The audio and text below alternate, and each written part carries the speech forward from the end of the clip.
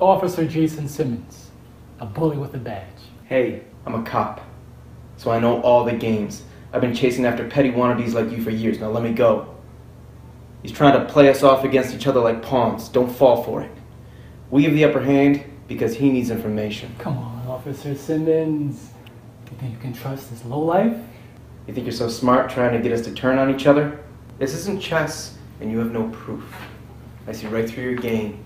That's the wrong answer. No, please! No, no, listen to me.